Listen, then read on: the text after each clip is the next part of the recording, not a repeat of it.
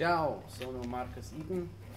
Ci vediamo al Nuovo Bosco eh, il 29 luglio.